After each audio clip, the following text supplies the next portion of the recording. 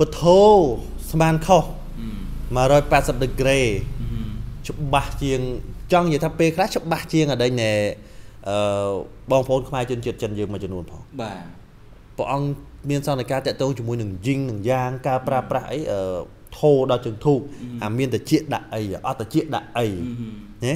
ហើយអីគេមានបងប្អូន5នាក់នោះសែនមិនអីសែនមិនអីរបៀបមិនហ៎ដឹងទៀត ព្រះអង្គនៅពេលដែលមានសង្ឃនិកាអីមួយមិនមែនយកចង់និយាយថាមិនមែនស្មានស្មានទេណាព័ត៌មានឬមួយក៏ចំណេះដឹងដែលព្រះអង្គដឹងហ្នឹងគឺច្បាស់ណាច្បាស់ច្បាស់ហ្មងអាចនិយាយបានថាយកធ្វើជាឯកសារយោងបានលោកមិនមែនឲ្យគេកែភ្លាមប៉ុន្តែលោកពន្យល់ឲ្យយល់បាទបាទលោកអើថាលោកថាលោកចង់កែគឺលោកពន្យល់ឲ្យយល់ហ្មងឲ្យយល់ឲ្យចាំកែបាទឧទាហរណ៍ថាលើព្រះអង្គថាចង់ឲ្យកែពីការសែនចិនមកសែនខ្មែរបែបខ្មែរ គឺព្រះអង្គបញ្យល់ភាសាចិនវាមិនមិនមិនទេខាងខ្មែរយើងមិនមិនពីរបៀបចឹងហ្មងបញ្យល់ឲ្យយល់ចឹងហ្មងបាទហើយបន្ទាប់មកចម្បងប្រាប់ឲ្យកែបាទយើងមិនប្រាប់ថាកែទៅជប់នំគ្នាសែនទៅបានហើយជប់ទៅបាទបាទលោកអត់ប្រើបែបហ្នឹងទេប៉ុន្តែរឿងហ្នឹងវាត្រង់វាបញ្ហាវានៅត្រង់ថាអឺការដែលនិមន្តព្រះអង្គទៅធ្វើការទេសនានៅក្នុងអឺនៅនៅវត្តទាំងថ្ងៃហ្នឹងគឺព្រះអង្គអត់បាត់តឹងទេបាទ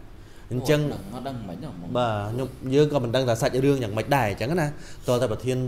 ខាងធម្មការសាសនាប្រាប់ទៅថាអូព្រះអង្គនៅមានមួយកន្លែងទៀតនៅមានមកទិសទេសមកក្រែទៀតនៅខាងវត្តតឹងថ្ងៃទៅដល់ពេលអញ្ចឹងទៅក៏ដឹងធ្វើមិនឥឡូវហេហាលបាត់ហ្នឹងប៉ុន្តែទៅនោះអត់បានទេសនាទេមែនទេទេសនាទេអញ្ចឹងមិនវិញហើយព្រះអង្គលោកសុំទោសដោយទឹកទឹកចិត្តថា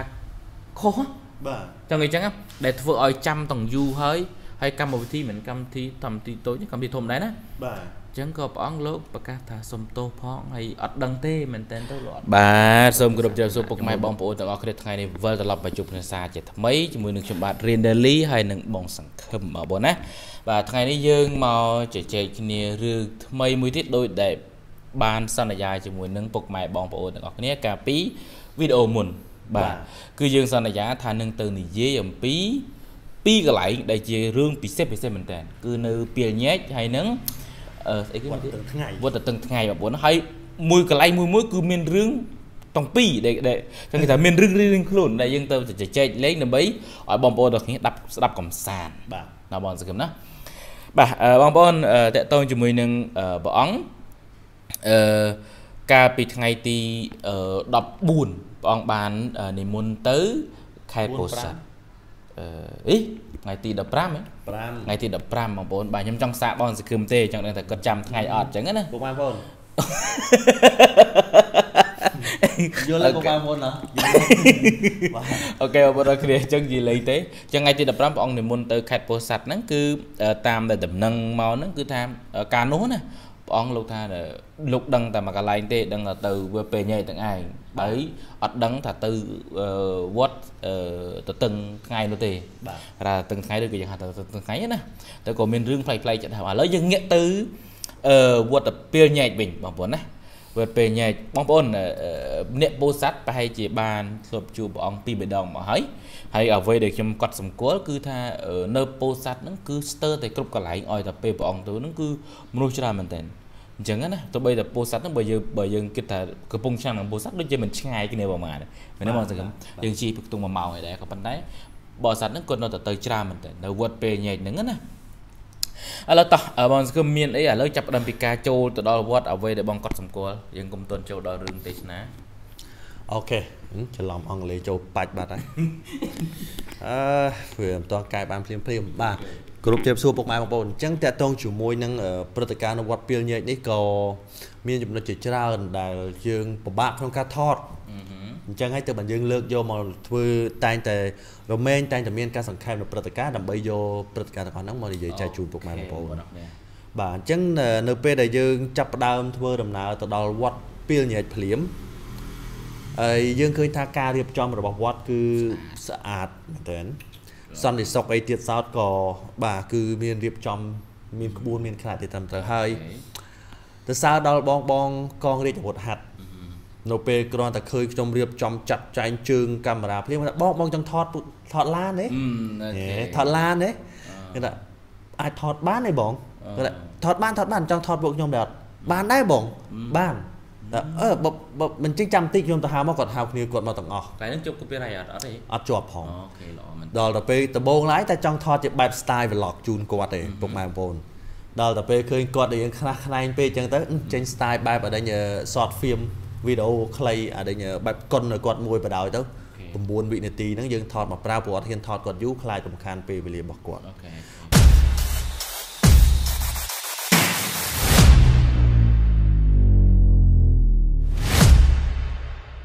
ប៉ុន្តែសូមរសារថាពួកគាត់រុះរាយពួកគាត់ឃើញពួកយើងអ្នកថតអ្នកអីចឹងទៅគឺគាត់រុះរាយគាត់គាត់ឲ្យគាត់ជួយសម្រួលយើងបានថតបានឲ្យស្រួលចឹងណាបាទអញ្ចឹងមានអីយើងយើងថតឲ្យគាត់ប្រម៉ូតគាត់នឹងឃើញថាពួកគាត់ស្វាហាប់មែនទែនអញ្ចឹងថតមកផឹងដាក់ឲ្យចឹងទៅអូខេហើយដើរដល់ពេលដើរចូលទៅដល់ក្នុងវត្តឃើញថាការចាត់ចែងរបស់វត្តជាពិសេសតកតងជាមួយនឹងធម្មជាតិខ្ញុំចាប់អារម្មណ៍ឡើយហ្នឹងគឺថាស្រស់បំប្រងត្មង ដាំអមតាមផ្លូវធំរបស់វត្តហ្នឹងទោះបីជាវត្តស្ថិតនៅក្នុងបរិវេណចឹងនិយាយថាកដាលក្រុងហ្មងជុំវិញវត្តគឺផ្សារក៏ប៉ុន្តែនៅក្នុងបរិវេណវត្តគឺថាជាគួរជាទីមនោរម្យ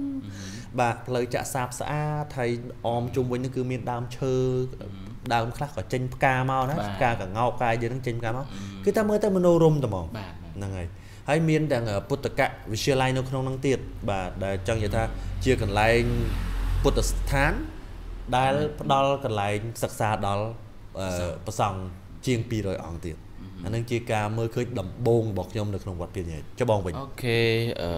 អត់សូវជាខុសគ្នាទេបាទកន្លែងខុសតិចមើលអត់ទេអត់ចង់ខុសនិយាយហ្នឹងគឺថែមកមកខ្លះអូខេអឺខ្ញុំចាប់អារម្មណ៍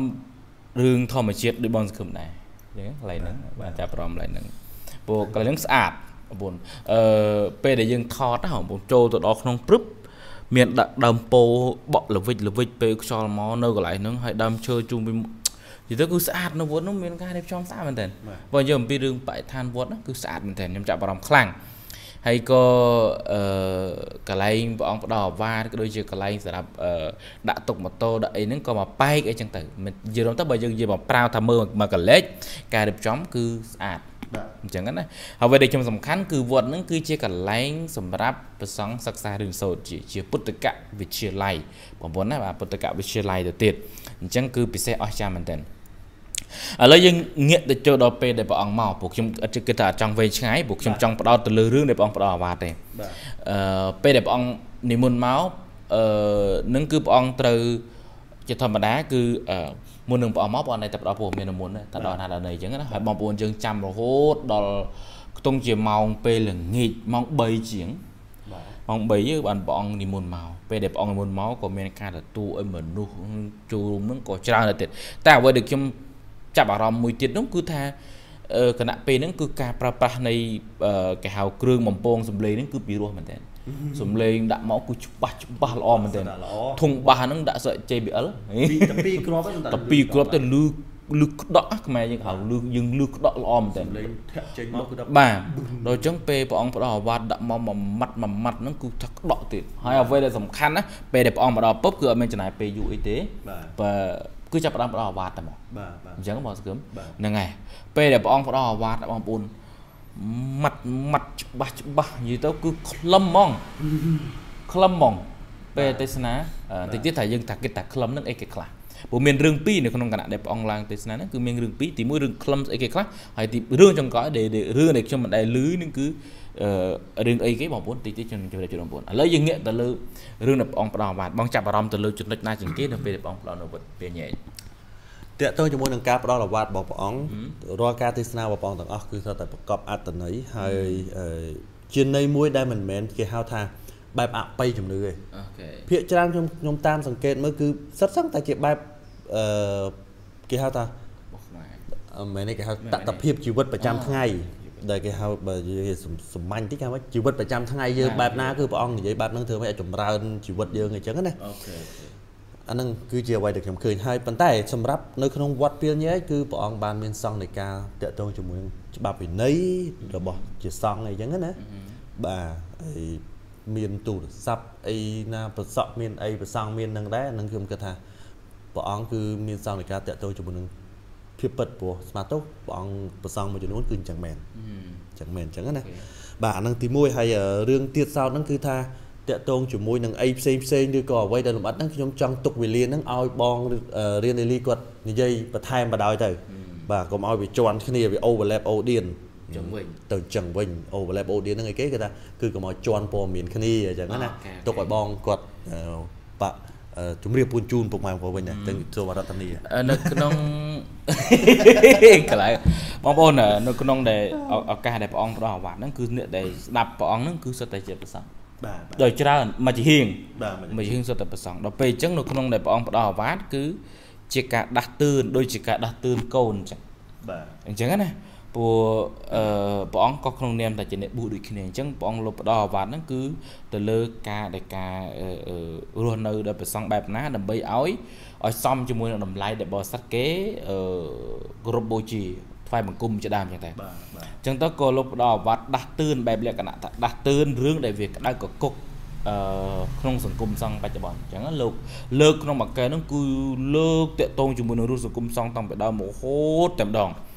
តកតងជាមួយនឹងការប្រើប្រាស់ទូរស័ព្ទក្តីតកតងជាមួយនឹងការបែបអឺការសិក្សារៀនសូត្រអីជាដើមណា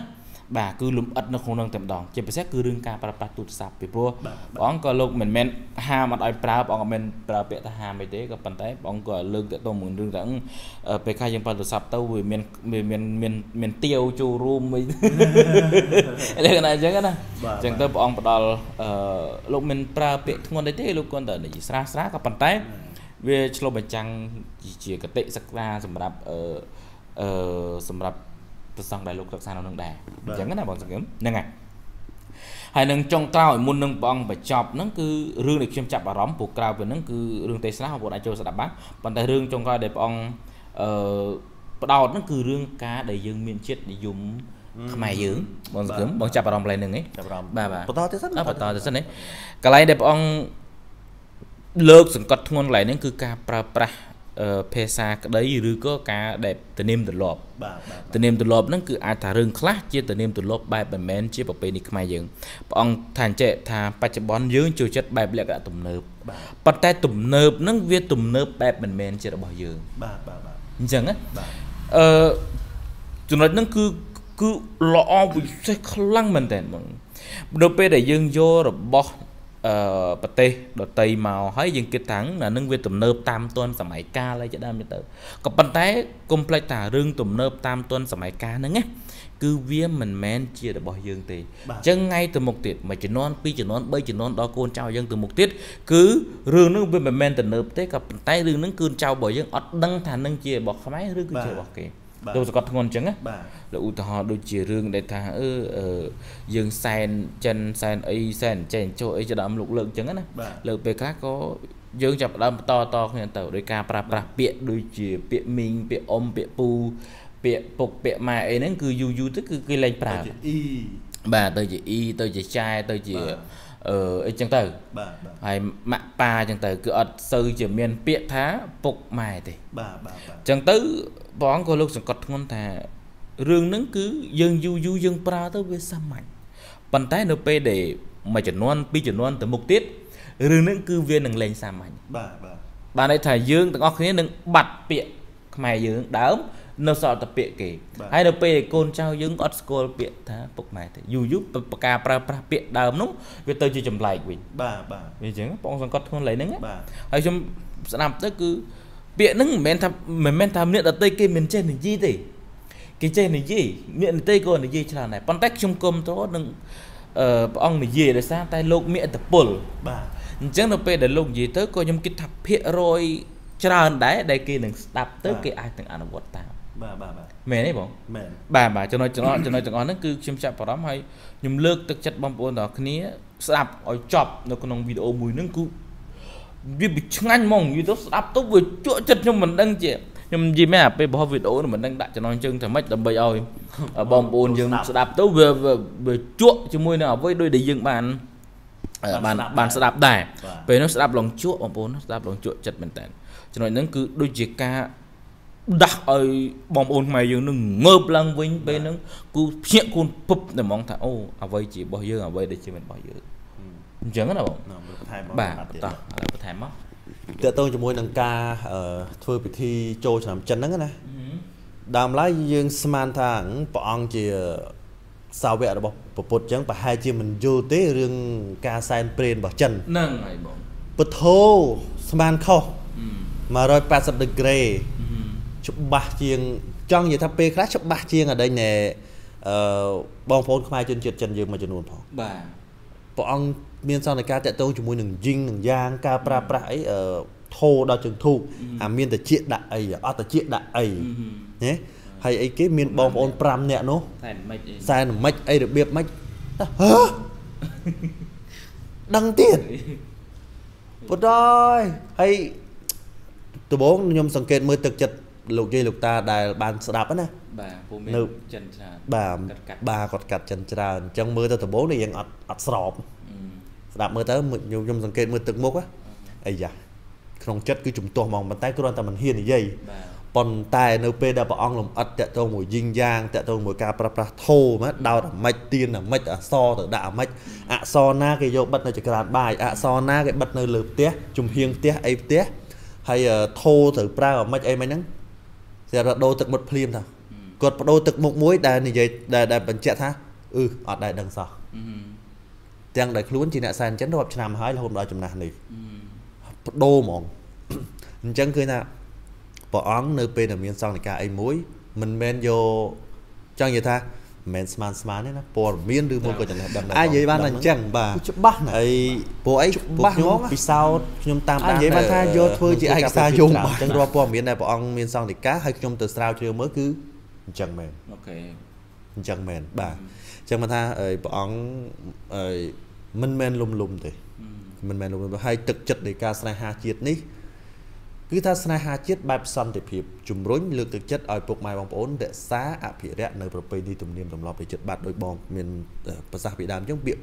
ពូមីងអីហ្នឹងចង់បាត់អស់ហើយទៅចេញអ៊ីអាខ្លះណាមិននៅខ្សែចិនទេហៅគ្នាអ៊ីដែរម៉ែខ្ញុំអីពេញភូមិគេហៅអ៊ីអូខេបាទគេហៅចែហៅអ៊ីពាក្យចិនហៅអ៊ីមិនចែព្រោះម៉ែខ្ញុំចាស់ហើយបាទបាទម៉ាក់ខ្ញុំចាស់ហើយមិនម៉ែទេព្រោះ ខ្ញុំតាំងពីតូចមកហៅម៉ាក់បាទបាទហើយតែព្រះអង្គក៏បាញ់នៅកន្លែងហ្នឹងម៉ាក់ម៉ែអីបើគ្នាមកដល់ចំណាស់នេះម៉ាក់តាំងពីដើមមកខែតើចាំមានកូនយើងអូខេចាំដាក់ឲ្យហៅឪបងហៅម៉ែទៅបងលោកបន្ថែមមែនទេបងប៉ុន្តែអឺកែអត់កែកែបានអត់មកទៅនោះទៅកែគេនឹងឆ្លើយបងអត់បាទវារឿងឆ្លើយបងឆ្លើយចុងមាត់ហើយកែកែអត់កែបានអត់មកនឹងទៅក៏ពិតព្រះអង្គលោកដឹងហើយថាអ្វីដែល ស៊ាំហើយយើងមិនអាចទៅបត់ភឹងបានតែម្ដងទេបាទបាទ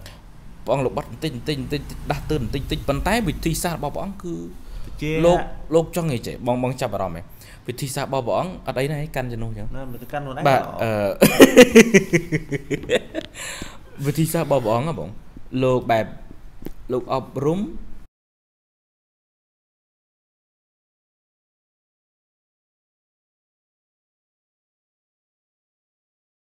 លោកមិនមែនឲ្យគេកែភ្លាមប៉ុន្តែលោកពន្យល់ឲ្យយល់បាទបាទលោកអើថាលោកថាលោកចង់កែហ្នឹងគឺលោកពន្យល់ឲ្យយល់ហ្មងបាទឲ្យយល់ឲ្យចាំកែបាទឧទាហរណ៍ថាលើព្រះអង្គថាចង់ឲ្យកែ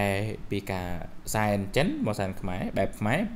គឺព្រះអង្គបញ្យល់ភាសាចិនវាមិនមិនមិនមិនមិនទៅខាងខ្មែរយើងមិនមិនមិនមិនពីរបៀបចឹងហ្មងបញ្យល់ឲ្យយល់ចឹងហ្មងបាទ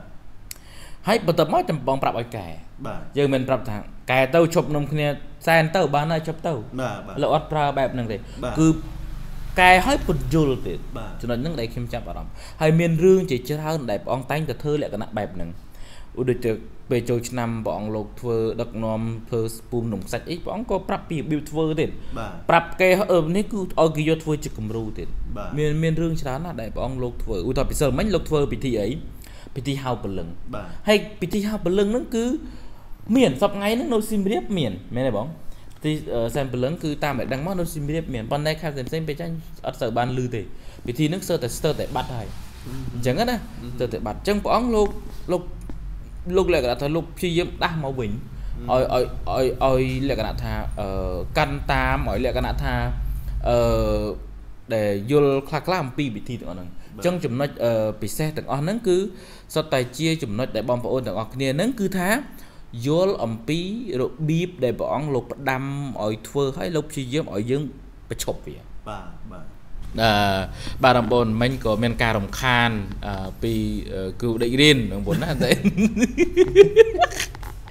អូខេអូនយឺលេងតោះតើទៀតបងសង្ឃឹមអញ្ចឹងកន្លែងចំណុចដែល បងលោកលើកមិញជាងប៉ុណ្្នឹងណាប៉ុណ្ណឹងចំណុចចុះតកតងជាមួយនឹងការសែនចិនប៉ុន្តែបងចាប់អារម្មណ៍រឿងមួយហ៎រឿងអ្វីពេលដែលបងលោកចុងក្រោយណាបាទព្រះអង្គលោកប្រកាសមួយម៉ាត់ហើយការប្រកាសហ្នឹងគឺយល់អំពីខ្ញុំយល់អំពីទឹកបតីហ្នឹងពួកខ្ញុំធ្លាប់នៅក្នុងបែបជាអ្នកដែលសិក្សាខាងពុទ្ធិកៈអញ្ចឹងខ្ញុំខ្ញុំយល់អំពីហ្នឹងលោកដូចក្នុងបតីលោកបារម្ភអំពីពុទ្ធិកៈអញ្ចឹងលោកក៏ប្រើពាក្យអាម៉ាត់ថា អ្នកដែលចូលហើយក៏ចូលទៅក៏ប៉ុន្តែអ្នកដែលមិនទាន់ចូលទេមកជួយគ្នាម្នាក់បន្តិចអ្នកបន្តិចទៅ បានកសាងដំបូលពុទ្ធិកៈវិទ្យាល័យបាទពុទ្ធិកវិទ្យាល័យហ្នឹងគឺជាកន្លែងបណ្ដុះបណ្ដាលប្រសង់រៀនចាប់ពីថ្នាក់ទី8ដល់ថ្នាក់ទី12អឺថ្នាក់ទី7ដល់ថ្នាក់ទី12បាទបាទអញ្ចឹងជាកន្លែងដែលពិសេសខ្លាំងមែនទែនបាទព្រះអង្គលោកមិនដែលប្រើពាក្យមួយម៉ាត់ថា ចេញអឺចូលរួមម្នាក់បន្តិចម្នាក់បន្តិចទៅអត់ដែលសោះតាំងពីខ្ញុំធំព្រះអង្គមក9ខែអត់ដែលគ្រប់កន្លែងណាក៏ដែរដែរបាទបាទលឺលើកទី1នៅក្នុងពេលនៅក្នុងជីវិតរបស់ខ្ញុំហ៎មិនមិនមួយជីវិតចង់និយាយថាចាប់តាំងពីអឺជីវិតនៃការថតជីវិតនៃការថតបែបអញ្ចឹងណាបាទបាទហ្នឹងហើយជីវិតការថតគឺលើកលើកទី1ហើយដែលលឺព្រះអង្គលោកប្រកាសប្រាប់ថាឲ្យចូលព្រោះព្រះអង្គលោកមិនដែលរៃអង្គាសមិនដែលប្រកាសតាំងខ្លួនអីទេប៉ុន្តែពេលហ្នឹងព្រះអង្គមិនប្រើពាក្យថារៃអង្គាសក៏ប៉ុន្តែព្រះអង្គដូចជាជំរុញទឹកចិត្តថាឲ្យចូលម្នាក់បន្តិចទៅបាទព្រោះព្រះអង្គសម្លឹងមើលអំពីប្រយោជន៍របស់ពុទ្ធិកៈហ្នឹងគឺវាធំធេងបាទបាទវាធំធេងអញ្ចឹងព្រះអង្គសុខចិត្ត ព្រះអង្គគិតថាលោកមានអត្តពលអញ្ចឹងលោកប្រាប់បរិស័ទល្មើសវិន័យខ្លួនឯងបន្តិចបាទល្មើសវិន័យខ្លួនឯងបាទព្រោះថាព្រះឥអង្គឡូវគាត់និយាយថាហ្នឹងហើយរឿងរៃគៀសនេះមិនដែលមិនធ្វើទេបាទប៉ុន្តែព្រះអង្គមិនរៃខ្លួនឯងទេព្រះអង្គគាត់តែប្រាប់គាត់តែប្រាប់ផ្លូវបាទបាទថាចូលរួមម្នាក់បន្តិចម្នាក់បន្តិចទៅអឺអឺជួយដល់ពុទ្ធកសិក្សាបាទហើយ ខ្ញុំឮអញ្ចឹងខ្ញុំរំភើបខ្លាំងមែនតើពីព្រោះក្នុងនាមថាយើងធ្លាប់សិក្សាពុទ្ធកៈថាខ្វះខាតបែបណាគឺយល់ច្បាស់ដូចថ្ងៃអញ្ចឹងហ៎បាទដល់ពេលអញ្ចឹងទៅពេលដែលព្រះអង្គលោកមានបតីខ្វាយខ្វល់អំពីពុទ្ធកៈអញ្ចឹងក៏អារម្មណ៍សប្បាយចិត្តខ្លាំងសប្បាយចិត្តណាពេលហ្នឹងគឺព្រះព្រះអង្គដឹងណាថាលោកដែលលោករៀបចំហ្នឹងគឺធ្វើបុណ្យផ្កាប្រាក់នឹងបីយកលុយទៅកសាងទៅទៅបបូលនឹងឯងបាទអញ្ចឹងគឺគោលបំណងធំអញ្ចឹងព្រះអង្គលោក នាំទៅទៅហ្មងនាំឲ្យបាទទៅចូលរួមម្នាក់បន្តិចម្នាក់បន្តិចម្នាក់បន្តិចអញ្ចឹងណាបាទបាទព្រះអង្គលោកបញ្ជាក់ប្រាប់ហើយក៏ព្រះអង្គលោកនិយាយច្រើនតែដល់ចំណុចហ្នឹងគឺខ្ញុំចាប់អារម្មណ៍ខ្ញុំសប្បាយចិត្តមែនទែនបាទចំណុចហ្នឹងណាបងខ្ញុំល្អបាទអឺហើយនៅវត្តពេលញែកដោយសារតែបរិស្ថានល្អស្ដាប់ទៅក៏ស្ងាត់សំឡេងបាសក៏ព្រោះលោកទេសនាមួយម៉ោងជាងជិតទៅមួយម៉ោងកន្លះថាមួយម៉ោងកន្លះម៉ោងកន្លះ អត់អត់ងាយទេអត់ងាយព្រះអង្គលោកទេដល់ប៉ុណ្្នឹងទេបាទមួយម៉ោងកន្លះបងបងបងស្គឹមបាទដោយសារតែវាងុំហ៎ងុំដាក់មកអត់ចង់ឈប់ហ៎និយាយទៅល្អគ្រប់យ៉ាងបាទលោកដាក់មកពុំពុំពុំពុំពុំងាត់ជ្រាបបាទចប់កម្មវិធីទេសនាបើជំទាវមួយដែលគាត់អឺម្ចាស់កម្មវិធីបុណ្យដែរឬក៏យ៉ាងម៉េចទេហើយគាត់ថែមទៀតថែម10លានបាទថែម10លានទៀតអូហូ បាទគាត់គាត់ពេញចិត្តជាមួយនឹងអ្វីដែលព្រះអង្គលោកលើកមកគឺគាត់ថាព្រះអង្គប្រាប់មកថាជួយគ្នាតិចទៅជួយជួយគ្នាម្នាក់ម្នាក់ដើម្បីនឹងអឺសាងដំបូលហ្នឹងទៅគាត់ថែម10លានទៀតអញ្ចឹងខ្ញុំគិតថាមានបរិស័ទយើងច្រើនដែលគាត់ចូលរួមម្នាក់5000ម្នាក់10000បាទអីចំណងសុទ្ធតែជាចំណែកដើម្បីកសាងពុទ្ធិកសិក្សាមិនដុះបណ្ដាលអឺអឺសង្ឃតែម្ដងអញ្ចឹងហ៎បងសង្ឃឹមហ្នឹងហើយហើយដល់ពេលអឺចប់ទៅអត់ទាន់បញ្ចប់ទេថ្ងៃហ្នឹងស្រាប់តែត្រូវនិមន្តទៅវត្ត ទៅទឹងថ្ងៃថ្ងៃបាទបាទមែនទេបងតាបាទនិយាយតិចមកណែនៅពេលដែលចប់ពីវត្តពេលញែកទៅគឺព្រះអង្គត្រូវរូតរះមនីមនីទៅខាងវត្តតទឹងថ្ងៃដែលចង្ងាយប្រហែលបងប្រហែលជា20គីឡូពីហ្នឹងទៀតមែនទេអឺលបាក់ហ្នឹងលបាក់ហ្នឹងបាទលបាក់ហ្នឹងប៉ុន្តែរឿងហ្នឹងវាត្រង់វាបញ្ហាវានៅត្រង់ថាអឺការដែលនិមន្តព្រះអង្គទៅធ្វើការទេសនានៅក្នុងអឺនៅនៅនៅវត្តទាំងថ្ងៃហ្នឹងគឺព្រះអង្គអត់បានដឹងទេបាទ អញ្ចឹងអត់ដឹងមិនហ្នឹងហ្មងបាទខ្ញុំយើងក៏មិនដឹងថាសាច់រឿងយ៉ាងម៉េចដែរអញ្ចឹងណាតើតែប្រធានអឺខាងធម្មការសាសនាប្រាប់ទៅថាអូព្រះអង្គនៅមានអឺមួយកន្លែងទៀតនៅមានមកទិទេសមកក្រែទៀតនៅខាងវត្តតទឹងថ្ងៃគឺដល់ពេលអញ្ចឹងទៅក៏អឺដឹងធ្វើមិនឥឡូវហេហាលបាត់ហើយហ្នឹងហើយព្រះអង្គទេសនាឡើងមកមកឆ្ងាញ់នៅវត្តពីលញែកហើយព្រះអង្គអត់បានលៃពេលសម្រាប់វត្តតទឹងថ្ងៃទេលោកអត់ដឹង បាទបាទខ្ញុំតាមមើលទំនោររបស់ព្រះអង្គគឺថាទេសនាចប់ពីវត្តពីលញែកនេះទៅធ្វើបន្តទៅប្រហែលជាទៅខេត្តតកែវឬក៏អីបន្តទៀតបាត់ហើយអត់បានត្រូវបន្តទៅខាងនេះទេបើដល់ដល់ពេលអញ្ចឹងវាធ្វើឲ្យអកស្រូវបាទប៉ុន្តែដឹងមកទេបងប្អូនទោះបីជាព្រះអង្គពុំបានទទួលព័ត៌មានទាំងអស់នោះគណៈពេលដែលមានពុទ្ធបរិស័ទខ្ញុំគិតថាចូលជាជាជិត5000អ្នកដែរទៅចាំព្រះអង្គនៅខាងវត្តទៅបាថ្ងៃទប៉ុណ្ណោះហើយចង់លើកមកដឹងបាទបាទ អញ្ចឹងដោយសារតែប្រទេសសន្តោសអឺហឺហើយក៏មិនដឹងជាធ្វើមិនដែរក៏ទៅប៉ុន្តែទៅនោះអត់បានទេសនាឯមែនទេទេសនាទេអញ្ចឹងមិនវិញអឺបងប្អូនខ្ញុំចង់ជម្រាបជូនបងប្អូនចេះអឺពេលដែលព្រះអង្គនេះលោកត្រូវទៅវត្តតតឹងហ្នឹងណាបងប្អូនលោកយាយលោកទៅតឹងថ្ងៃហ្នឹងណាលោកយាយលោកតាដែលគាត់នៅក្នុងវត្តហ្នឹងណាគឺគាត់ចាំព្រះអង្គហ្នឹងមក3ថ្ងៃហើយជុំយល់ទេមែនចាំ3ថ្ងៃលោកយាយគាត់និយាយចឹងថា ចាំ3ថ្ងៃហើយបាទបាទចាំ3ថ្ងៃប៉ុន្តែអាថ្ងៃចុងក្រោយដែលគាត់ចាំហ្នឹងណាគាត់ចាំតាំងពីពេលព្រឹកដោយមានដំណឹងថាព្រះអង្គលោកទៅទេសនាពេលព្រឹកបាទមានកាមេរ៉ាមានអីថតទៅចាំពេលព្រឹកហើយក៏ដំណឹងមកថាអត់ទេអត់បានទៅពេលព្រឹកហើយក៏ថាតែពេលល្ងាចប៉ុន្តែពេលល្ងាចបងទេនៅនេះបាទនៅពេលល្ងាច ដល់ពេលអញ្ចឹងបានដំណឹងមកអឺគាត់ចាំអត់អីគាត់ចាំចាំតាំងពីព្រឹករហូតអ្នកអត់ហ៊ានក្រោកទេណាព្រោះកាច់បាត់កន្លែងបាទគាត់ចាំលោកយាយលោកតាគាត់ថាចាំយូរហើយចាំព្រះអង្គអត់ឃើញមកចាំយូររហូតដល់ល្ងាចបានព្រះអង្គនិមន្តទៅ ពេលដែលយើងទៅដល់ហ្នឹងគឺបងសង្ឃឹមខ្ញុំមើលទឹកមុខរបស់ពួកគាត់គឺវាអស់កម្លាំងលហិតលហៃល្វើយចូលលោកយាយគាត់អង្គុយហ្មងមួយថ្ងៃវើល្ងាចបាទអញ្ចឹងវាចុកសពុន អញ្ចឹងទៅក៏គាត់ចាំព្រះអង្គឡើងយូរចាំអារម្មណ៍ពេលហ្នឹងណាចង់ជួបនិយាយទៅចង់ជួបស្រាប់តែល្ងាចម៉ោង6ហើយម៉ោង6ជាងទៅហើយមែនតើទៅទៅដល់នោះម៉ោង6ជិះ7ដែររើបានព្រះអង្គទៅដល់ក៏7ដល់ពេលដល់ពួរមានច្បាស់ទៅដល់ពឹបខ្ញុំភ្ញាក់ព្រឺតតាំងពេលដែលព្រះអង្គឡើងលើក្រែហ្នឹងមកហ្នឹងហើយព្រះអង្គបញ្ជាក់ថាអត់ដឹងទេអាត្មាអត់ដឹងទេអត់ដឹងថាមានកម្មវិធីទេហើយព្រះអង្គលោកសុំទោស ដោយទឹកទឹកចិត្តថាខុសហ៎បាទចឹងអីចឹងហ៎ដែលធ្វើឲ្យចាំតង់យូរហើយហើយកម្មវិធីមិនកម្មវិធីធម្មតាតូចទេកម្មវិធីធំដែរណាបាទចឹងក៏ព្រះអង្គលោកប្រកាសថាសុំទោសផងហើយអត់ដឹងទេមែនតើទៅលោកអត់ដឹងព្រះអង្គសុំទោសជាសាធារណៈជាមួយបរិស័ទចឹងហើយព្រះអង្គថាឥឡូវអញ្ចេះទៅព្រោះយប់ដែរទៅហើយចឹងក៏អឺមិនបាច់ទេទេបាទបាទវាកាន់បានមកគោហ្នឹងគឺព្រះអង្គអត់ទេហ្មងបាទកាន់បានមកគោគាត់តែបញ្ជាក់ប៉ុណ្្នឹងទៅក៏ព្រះអង្គថាឥឡូវ អឺនៅតាណាក៏ដោយឲ្យទៅរៀបជាជួរទៅគឺព្រះអង្គទៅទាំងអស់ហ្មងបាទបាទហើយមែនហ្មងលោកអឺព្រះអង្គដើរកលិកកលុកកលិតតាណាគឺព្រះអង្គដើរទៅហ៎ដើម្បីបក់អឺជូនដែលបរិស័ទដែលគាត់ចាំនោះហ្នឹងណាបាទបាទព្រោះព្រះអង្គនឹកឃើញប្រតិដែលគាត់ពួកគាត់ចាំនោះគាត់ចង់ជួបណាស់តាអារឿងស្ដាប់ធួហ្នឹងអានឹងរឿងទី2ឯងខ្ញុំមើលមើលមែនតែនទៅហ៎បាទមែនទេបងបាទរឿងស្ដាប់ធួរឿងទី2ប៉ុន្តែរឿងទី1ហ្នឹងគឺថាចង់ឲ្យព្រះអង្គបកផ្លិតហ្នឹងឯង បាទបាទចង់បានទឹកបានអីចឹងទៅអញ្ចឹងព្រះអង្គក៏ធ្វើតាមម្ដងអត់ទេព្រោះយប់អញ្ចឹងក៏ព្រះអង្គក៏ដើរបកចឹងទៅរហូតតាំងពីអីណាអឺកន្លែងគេរហូតទៅដល់ចូលក្លុកក្លិតអីចឹងទៅអឺរឿងនេះយើងសង្កេតចេះបងសង្គមយើងឃើញថាអឺព្រះអង្គលោកបើសិនជាមានការទទួលមានអីត្រឹមត្រូវអាហ្នឹងគឺខ្ញុំគិតថាព្រះអង្គលោកអត់ចោលទេបាទយ៉ាងណាក៏លោកអត់ទៅដែរមានន័យថានៅពេលដែលព្រះអង្គនៅពេលដែលព្រះអង្គចាហើយបាទចាសន្មតថាទៅហើយ ទោះបីជានៅឆ្ងាយព្រៃហិតព្រៃហោងដូចជាបងមានបបពិសោធន៍វែងផ្លូវដែរមែនទេហ្នឹងហើយវិញផ្លាផ្លូវណាផ្លូវអាហ្នឹងទៅវត្តចែកបាទអានោះមកយកពីរឿងដែលថាទៅឆ្ងាយហ្នឹងវាឆ្ងាយណាស់ហើយមិនមែនឆ្ងាយផ្លូវល្អទៅណាបាទផ្លូវហ្នឹងគឺផ្លូវដូចថាផ្លូវវារេញបោះយាយមិនចេញណាបាទវាកលឹកកលុកកលឹកកលុកហើយឆ្ងាយអញ្ចឹងទៅក៏ព្រះអង្គនោះទៅទៅបាទឲ្យទៅទៅទៅបាទព្រះអង្គទៅអញ្ចឹង ដូចនេះអញ្ចឹងព្រះអង្គទៅអញ្ចឹងមនុស្សចាំអូប្រងពេទ្យចាំច្រើនណាចាំពេលអញ្ចឹងទៅក៏ខ្ញុំក៏អារម្មណ៍មួយខ្ញុំសំណោះអឺបាទលោកយាយលោកតាដែលគាត់ទៅចាំហ្នឹងណាបាទក៏យើងមិនដឹងជាអឺមិនគិតថារឿងនោះវាកើតឡើងទេបើមិនតែនទៅវាមិនគួរតែវាកើតឡើងដែលប្រហែសដល់ថ្នាក់ដែលបាទឲ្យលោកអត់ដឹងណាបាទខ្ញុំខ្ញុំមិនដឹងចេតាការដែលរៀបចំហ្នឹងយ៉ាងម៉េចដល់ថ្នាក់ឲ្យលោកអត់ដឹងណាបាទហើយមនុស្សរាប់ពាន់រាប់ម៉ឺនថាម៉ឺននេះអើយមិននឹងទៅបងប្អូននឹងម៉ឺនហើយពួកនេះចាំនេះ ឈប់តាមផ្លូវរហូតណាបាទមិនមែនឈប់តែគេនៅក្នុងវត្តទេថ្ងៃនោះបាទបាទដូចយើងជិះឡើងទៅឃើញទេតាមផ្លូវមកម្ដុំម្ដុំម្ដុំម្ដុំមកមកកញ្ចប់មកកញ្ចប់មក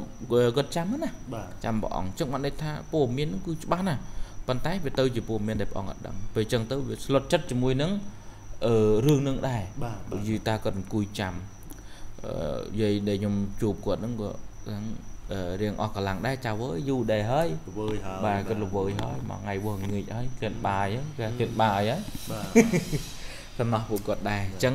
ប៉ុន្តែនៅពេលដែលគាត់បានជួបអារម្មណ៍គាត់ចាប់ផ្ដើមសប្បាយឡើងវិញបាទបាទបាទអញ្ចឹងខ្ញុំចង់និយាយអំពីអឺទឹកចិត្តរបស់លោកយាយលោកតាហ្នឹងគឺវាហ៊ូសថ្លែងដែរដែលគាត់អឺចង់ជួបព្រះអង្គណាបាទបាទហ៊ូសថ្លែងទៅហើយចំណុចទាំងអស់នេះវាសុទ្ធតែជាចំណុចដែលបងប្អូនទាំងអស់គ្នាគួរតែ អឺទទួលព័ត៌មានហ្នឹងឲ្យច្បាស់កាមហើយថ្នាក់ដែលរៀបចំកម្មវិធីហ្នឹងក៏គួរតែឲ្យច្បាស់ដែរទំនាក់ទំនងទៅឲ្យច្បាស់គុំគុំគុំគុំបន្លំបន្លំណាបាទបាទអារឿងហ្នឹងគឺវាពិបាកបងមែនទេបងបាទគឺអញ្ចឹងហ៎ចេះអឺមែនតើទៅបើស្ដាប់តាមសង្ឃនៃការរបស់ព្រះអង្គគឺព្រះអង្គ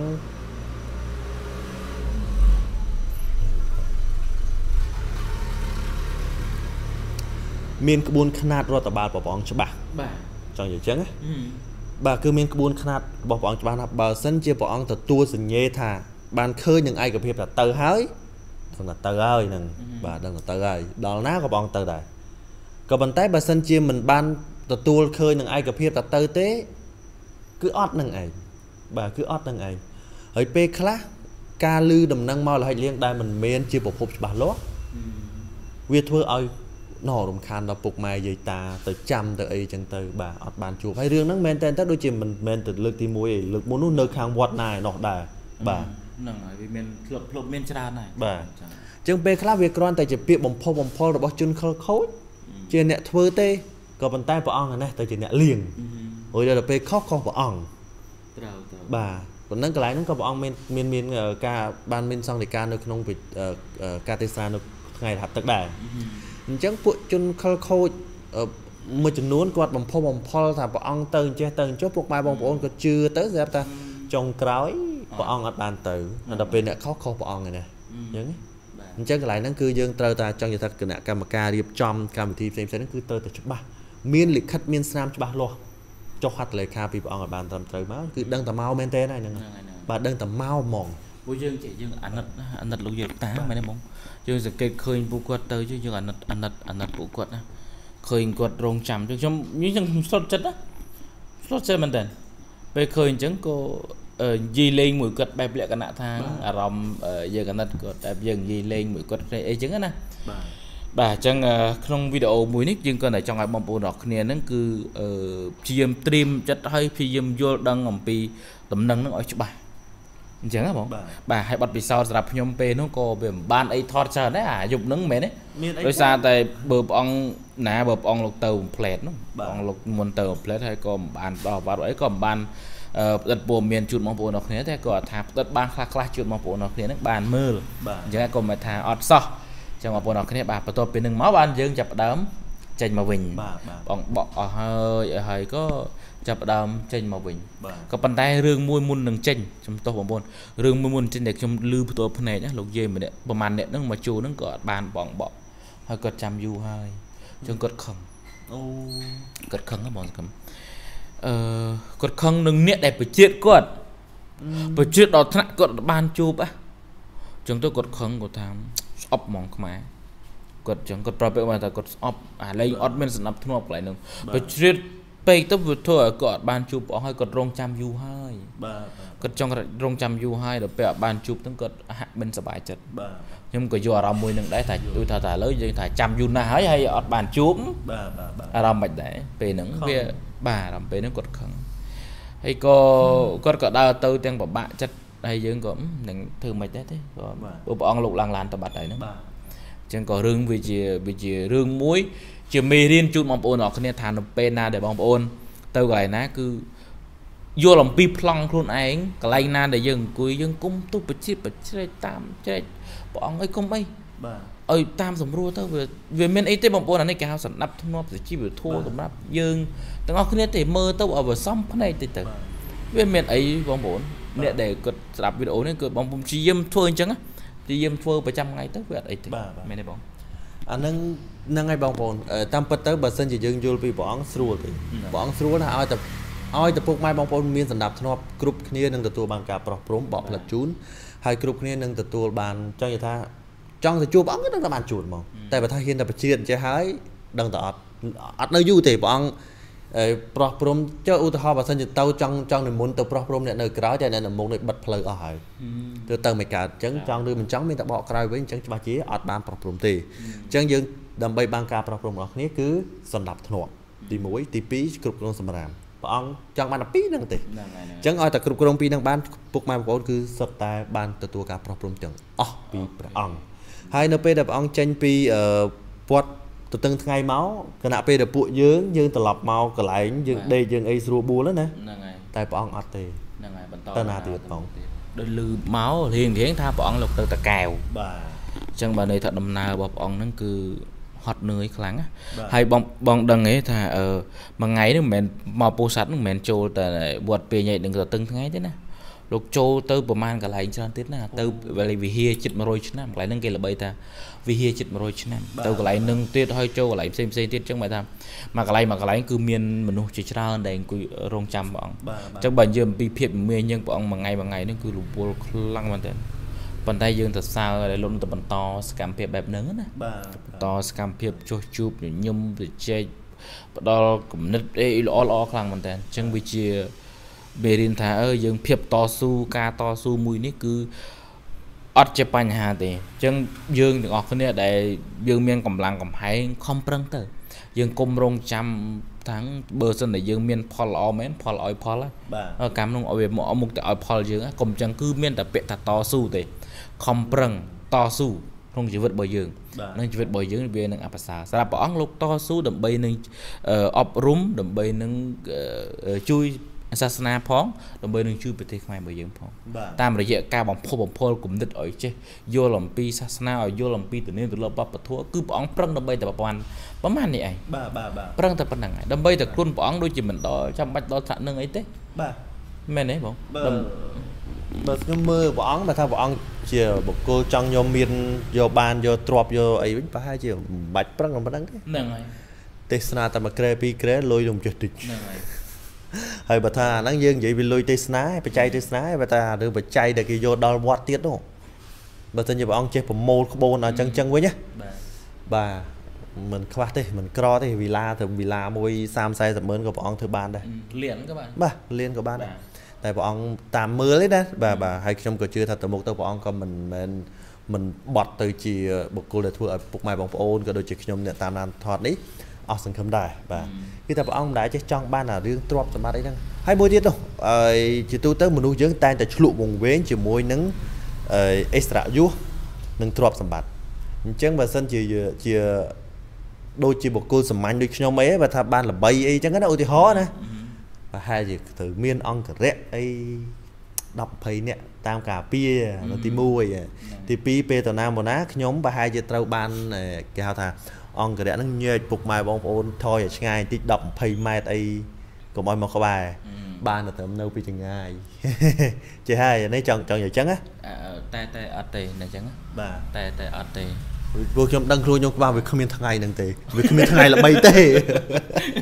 វាមិនល្បីទេមិនអាចល្បីទេវាមិនអាចទេអូខេបងបាទហើយប៉ុន្តែសម្រាប់ព្រះអង្គណាគិតនាមព្រះអង្គពីមួយថ្ងៃទៅមួយថ្ងៃអត់មានថមថយទេណាគឺក៏កាន់តែល្បីទៅល្បីទៅអ្នកតូចអ្នកធំគឺថាមកជួបមួយព្រះអង្គប៉ុន្តែព្រះអង្គនៅតែសាមញ្ញនៅតែជួបពុកម៉ែបងប្អូនដូចធម្មតា ប្រោះព្រំជូនមិនថាពុកម៉ែបងប្អូនតំណាក់ពុះទៀប មានក្រណាគឺថានៅចំពោះពភៈព្រះអង្គគឺគ្រប់គ្នាគឺស្មើគ្នាទាំងអស់ដូចជាក់ស្ដែងដូចកាលថ្ងៃឆ្លចូលឆ្នាំឆ្លងអពូនក្នុងខ្សែចិនមិនថាអុកញ៉ាអាចទៅដំពុកម៉ែបងប្អូនមកពីណាទេអង្គុយដីស្មើគ្នាហ្នឹងហើយគួយដូចស្មើបាទហើយអត់មានណាមកអីដាក់តុកកៅអីធំធំអត់ទេស្មើគ្នាអញ្ចឹងមកថាយើងអាចមើលឃើញកន្លែងហ្នឹងបានព្រោះចំណុចទាំងអស់នេះមនុស្សគឺពិបាកឆ្លងកាត់បាទតែព្រះអង្គឆ្លងកាត់ទៅកំពុងតែឆ្លងកាត់ហើយអញ្ចឹងពុកម៉ែបងប្អូនបាទ ហ្នឹងហើយបងយើងដូចជាប៉ុណ្្នឹងហើយបាទអឺជ្រាបអានេះក៏តែជាសង្ខេបបតិកាដែលខ្ញុំជួបផ្ទាល់ផ្ទាល់អញ្ចឹងរឿងដែលយើងសង្ខេបនៅក្នុងថ្ងៃនេះគឺយើងចង់ផ្ដោតទៅលើរឿងពីរធំធំសម្រាប់ខ្ញុំណាបងសង្ឃឹមរឿងពីរធំធំហ្នឹងគឺតកតងជាមួយនឹងទី1គឺព្រះអង្គលោកមានទឹកបតីផ្ដោតទៅលើពុទ្ធិកសិក្សានឹងខ្លាំងហើយលោកដល់ថ្នាក់លោកប្រកាសនាំមុខឲ្យបងប្អូនហ្នឹងពុទ្ធបរិស័ទលោកយលតាហ្នឹងក៏ចូលលុយដើម្បីនឹងជួយកសាងបាទរឿងទី2រឿងរឿងទី2នេះគឺថា អឺតកតងជាមួយនឹងព្រះអង្គលោកនិមន្តទៅវត្តទៅទាំងថ្ងៃទាំងដែលព្រះអង្គលោកអត់ដឹងហើយមនុស្សអ្នកនៅចាំហ្នឹងគឺលោកយល់តាខ្លះចាំដល់ទៅ3ថ្ងៃហហើយទីបំផុតគឺដល់យប់ទៀតហើយទៅទៅបានជួបព្រះអង្គហើយព្រះអង្គក៏បានផ្ដល់វត្តពីព្រោះបានបានដឹងមុនរឿងទាំងអស់នេះគឺជូនដំណឹងបងប្អូនប៉ុណ្ណេះហើយសង្ឃឹមថាវាអត់មានរឿងឯកាត់ឡើងបែបហ្នឹងទីទេសម្រាប់កន្លែងផ្សេងផ្សេងកុំឲ្យពួកបរិស័ទហ្នឹងគាត់អឺខកចិត្តខក ចិត្តខកអចិត្តញ្ចឹងបងបាទអញ្ចឹងយើងមានប៉ុណ្្នឹងមកណាវាប៉ុណ្ណឹងបាទអញ្ចឹងបងប្អូនអរគ្នាថ្ងៃនេះគឺសម្រាប់ខ្ញុំបាទទាំងពីរនាក់មានប៉ុណ្្នឹងបើសិនជាការនិយាយលេងសើចខ្លះខ្លះវាខុសឆ្គងបងប្អូនធ្វើការអធិស្ឋានបងប្អូនណាហើយយើងនឹងតាមដាននៅវីដេអូជាបន្តសម្រាប់វីដេអូខ្ញុំហើយនិងវីដេអូបងសង្ឃឹមជួបគ្នានៅក្នុងវីដេអូក្រោយជូនពរបងប្អូនសុខភាពល្អសំណាងល្អបាទអញ្ចឹងណាបាទបាទបងបើកសោឲ្យដេរៀនទៅព្រោះគាត់មកហើយបងដេរៀនតែយើងថតអញ្ចឹងគាត់តែងតែមកអញ្ចឹងអញ្ចឹងគាត់មក បាទបាទអញ្ចឹងអត់អីទេយើងបើកអីគាត់មកទៅតែបងប្អូនអឺបើកបើកឲ្យគ្រូដេករៀនគាត់ចូលមកបន្តិចព្រោះយើងពងនិយាយគ្រូដេករៀនគាត់ពេលដែលពួកខ្ញុំបងសង្គមនិយាយគឺគាត់តែងតែចូលមកអញ្ចឹងហើយបងប្អូនណាបាទគាត់តែងតែចូលមកអញ្ចឹងហើយខ្ញុំក៏ថតវីដេអូតែអត់អីទេហើយគាត់មកក៏មកទៅបងប្អូនហ្នឹងហើយ ហ្នឹងហើយបងប្អូនអរគ្នាអញ្ចឹងឥឡូវនេះខ្ញុំកំពុងតែថតព្រះបងសង្ឃឹមហើយក៏គ្រូដេករៀនអឺគាត់អញ្ចឹងហើយបងប្អូនគាត់មកអញ្ចឹងបាទមកបាទសួរបងប្អូនទាំងអស់គ្នាហើយសារអឺនេះបញ្ហានៅត្រង់ថាអូនៅពីដេក spoil វីដេអូគេអស់បាទអូអញ្ចឹងហើយយប់មិញយើងមកដល់លើម៉ោង2ទៅហើយអត់ទេគេនិយាយណែតើ ខុសហើយខុសទៀតរបស់ឯងចូលមកខុសហ្មងពេលអញ្ចឹងទៅក៏អឺដេកអត់លក់